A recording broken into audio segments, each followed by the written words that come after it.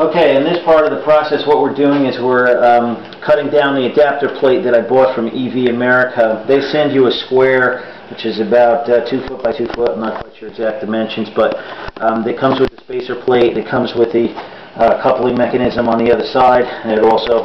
Uh, what I'm doing is to make it fit the bell housing. I've actually traced it out. I put it on this, the shaft, and I traced it out. And you can see on this side um, how I traced it out. And what it looks like is basically has the clutch disc from the original transmission that I took out of the car.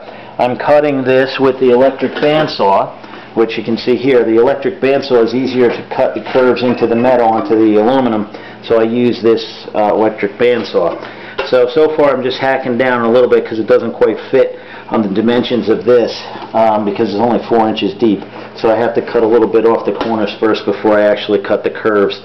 So you can see how that's done. My next episode, what I'll do is I'll put it, I'll actually have it mounted. I'm drilling holes um, where you can see I drilled one hole here um, to actually put the bolts through onto the bell housing. So, and then the engine will mount up on the other side. So basically you have the bell housing on this side, engine on this side, and then it will go back into the car. Okay?